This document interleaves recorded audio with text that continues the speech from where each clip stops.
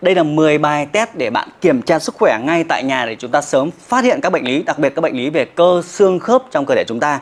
Dù bạn là người trẻ hay người lớn, rất nhiều người nghĩ rằng mình hoàn toàn sức khỏe bình thường, nhưng khi thực hiện 10 bài test này mới phát hiện ra rằng u mình đang bị thoái hóa và việc biết sớm này giúp bạn có một kế hoạch để chúng ta phục hồi, tiết kiệm thời gian, tiết kiệm tiền bạc và tránh nó trở nặng hơn được không các bạn?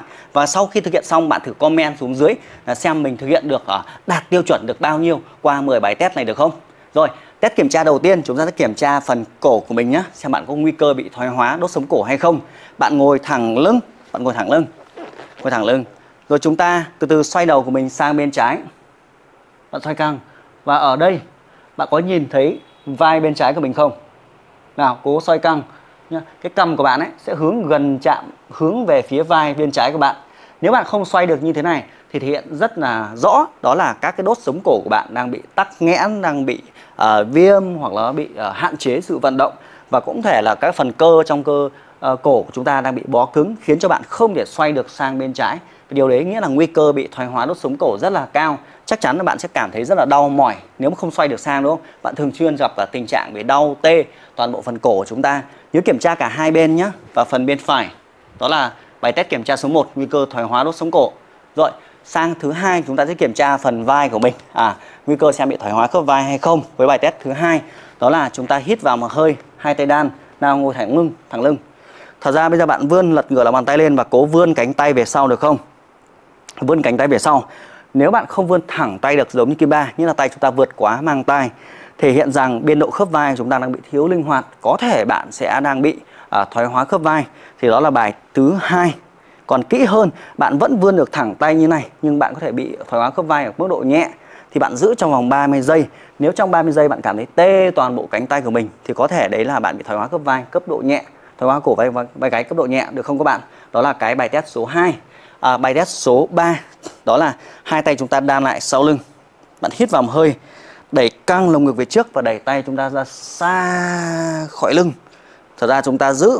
À, nếu bạn có một chiếc gương thì rất là tốt bạn sẽ kiểm tra xem cái bàn tay của bạn ấy có cách xa lưng của chúng ta hơn một gang tay hay không.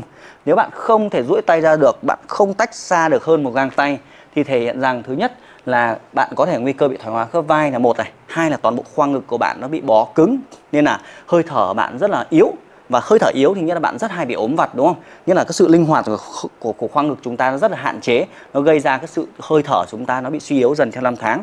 Và có thể thể hiện rằng bạn đang bị các cái tật về lưng gù do ngồi làm việc nhiều quá lưng nó cuộn cong lại không đẩy được về trước là mất đi cái hình dáng cơ thể chúng ta. Thiếu tự tin đặc biệt là nam nữ nhìn nó rất là yếu. Đó là bài test số 3 rồi bài test số 4 chúng ta kiểm tra toàn diện xem khớp vai của mình ra sao. Bạn thử đưa tay trái về sau, đưa tay phải lên trên, xem hai tay có vươn lại và với tới nhau như thế này được không?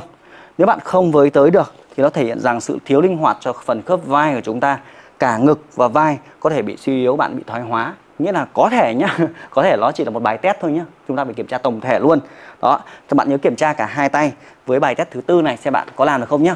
Nếu được cả hai bên thì chúng ta mới tích, được chưa? Đó là phần à, thứ tư. Sang phần thứ năm chúng ta bắt đầu kiểm tra phần lưng của mình nhé phần thứ năm.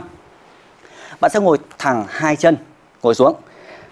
Chỉnh lưng chúng ta thẳng lên. Và bây giờ bạn thử vươn về phía trước gập xuống xem chán của mình có cách ngón chân được một gang tay không nhá. Và điều kiện là chúng ta phải giữ trong vòng 10 đến 15 giây. Đó.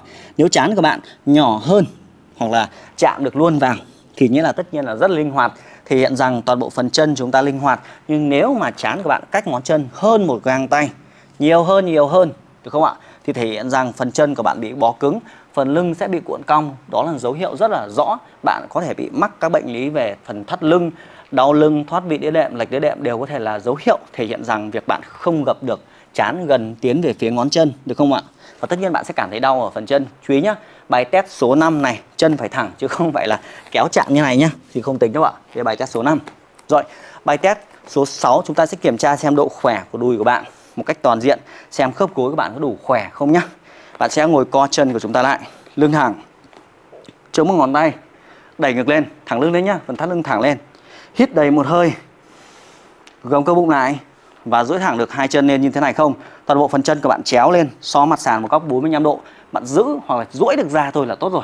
Thật ra giữ còn duỗi trên 10 giây thì càng tốt. Nhưng nếu bạn không làm được điều này không thể duỗi được chân ra thì số 6 này có thể hiện rằng phần đùi của bạn yếu dẫn tới phần gối cũng có thể bị yếu. Như là bạn cũng có nguy cơ rất là cao thể hiện là khớp gối bạn rất là yếu. À, phần cơ bụng bạn không gồng lại đúng không? Thì cơ bụng không gồng lại cũng thể hiện rằng cái nguy cơ rất là cao phần lưng của bạn cũng bị suy yếu. Vì cơ nó yếu thì khớp bạn phải làm việc nhiều hơn. Các bạn đúng không? Cơ thể chúng ta gồm xương, dây chằng, cơ bắp. Thì nếu mà cơ không có người nhão ra, thì toàn bộ cái sự vận động cơ thể nó hay gây áp lực rất là lớn vào phần phần xương, phần đĩ đệm của chúng ta.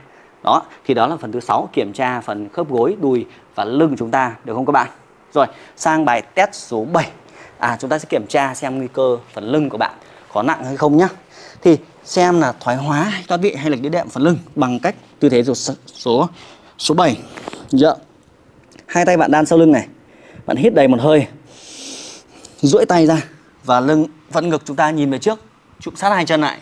Thở ra giữ. Ở tư thế này. À, kiểm tra độ khỏe ở phần thắt lưng chúng ta. Cơ lưng của bạn có bị khỏe không để xem bạn có nguy cơ bị thoát vị đĩa đệm hoặc thoái hóa lưng hay không. Thì với tư thế này ấy đầu tiên kiểm tra này. Ở phía trước mặt của bạn ấy ít nhất cầm của bạn phải nâng cao phần ngực từ phần cổ ức ức của bạn ấy. Nó phải nâng cao hơn phần mặt sàn tầm khoảng gần một găng tay. Được không ạ? Phần chân chúng ta cũng tương tự như vậy. Còn nếu bạn không thể nhấc lên được nhúc nhích cũng không lên được thì nghĩa là cơ lưng của bạn rất là yếu. Và tất nhiên cơ lưng yếu thì thắt lưng phải làm việc nhiều hơn. Và dấu hiệu của thoái hóa à, rất là rõ ràng trong bài test số 7 có làm được không ấy? Giờ mới biết là mình nặng như thế nào đúng không? Rồi sang tư thế thứ 8 chúng ta sẽ kiểm tra thêm một chút phần khớp gối của chúng ta. À, bằng một tư thế là đó chúng ta ngồi khoanh chân. Rất đơn giản thôi. Bạn ngồi khoanh chân xem hai gối của bạn có chạm xuống sàn không nhá ngồi thẳng lưng khoanh chân. Và tất nhiên nếu bạn không ngồi được khoanh chân như thế này nó có thể hiện một dấu hiệu là sự à, cái biên độ vận động khớp háng phần khớp gối phần cổ chân chúng ta đang gặp vấn đề. Toàn bộ phần chi dưới đang gặp vấn đề.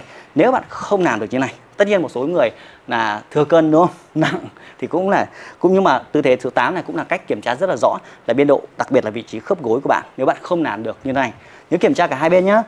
Kiểm tra hai bên đúng không? Bắt chân lên đùi. Đó vị thế số 8 kiểm tra khớp gối linh hoạt khớp háng. Rồi tư thế số 9 vẫn là kiểm tra phần lưng của bạn thôi. Đa phần chúng ta hay bị đau lưng mà. Bạn sẽ nằm xuống. Nào nằm xuống. Nằm xuống. À, bây giờ bạn duỗi thẳng chân trái ra. Chúng ta hai tay giữ lấy ngón chân phải. Bạn chẳng làm gì cả. Bạn duỗi thẳng chân phải ra và điều kiện trong tư thế này để kiểm tra cái gì? À, kiểm tra sự linh hoạt cho từng chân chúng ta và xem là phần thắt lưng phần khung chậu của bạn có linh hoạt hay không. Nếu bạn không làm được tư thế này thì có thể dấu hiệu rất là lớn là bạn đang bị thoái hóa ở phần lưng.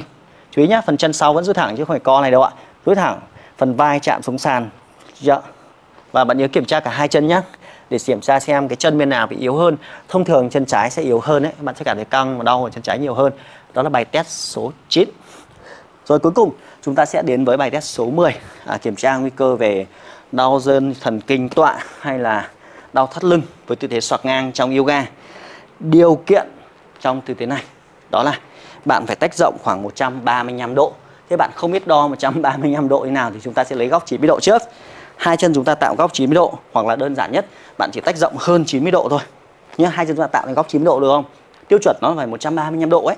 Tách rộng thêm chút và trong tư thế này tay bạn chống về trước ngón chân hướng thẳng lên trần lưng thẳng và bạn giữ tách rộng được 135 độ thì là chúc mừng. Còn nếu mà nhỏ hơn thì thể hiện rằng phần chân rất là yếu nguy cơ bị đau dây thần kinh tọa uh, ờ, suy yếu phần chân và đau thắt lưng thể hiện rằng nếu bạn không làm được tư thế này thì đó là 10 bài test kiểm tra để uh, cơ xương khớp tổng thể trong cơ thể chúng ta. Cơ thể càng dẻo dai thì càng trẻ hơn, càng linh hoạt hơn, đúng không các bạn? Và các bạn thử comment xuống xem là các bạn thực hiện được bao nhiêu trong 10 bài test vừa rồi và nhân đây thì nếu bạn uh, không làm được 10 bài test hoặc kể cả làm được thì Kim Mã gửi tặng tới các bạn những chuỗi bài tập mà Kim Ba chia sẻ cho hàng hàng ngàn hàng trăm nghìn người với kênh YouTube hơn 100 nghìn người. Các bạn đã rất tập luyện và thay đổi sức khỏe một cách toàn diện thì đó là những bộ bài tập rất là miễn phí. Kim Ba cũng tắt cả quảng cáo đi để các bạn xem ở các phần giữa video. Nó không bị ngắt quãng để các bạn thể tập luyện ngay tại nhà để phục hồi thật sớm để có sức khỏe toàn diện hơn được không các bạn? Và uh, sẽ gặp lại các bạn trong cái video tiếp theo với các video chia sẻ về kiến thức để chúng ta chăm sóc sức khỏe của mình tại nhà. Xin chào và hẹn gặp lại bạn.